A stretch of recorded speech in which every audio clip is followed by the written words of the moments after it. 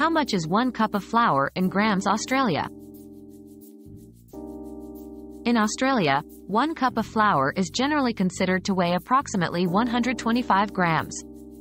However, this can vary slightly depending on the type of flour and how it is scooped or packed into the cup.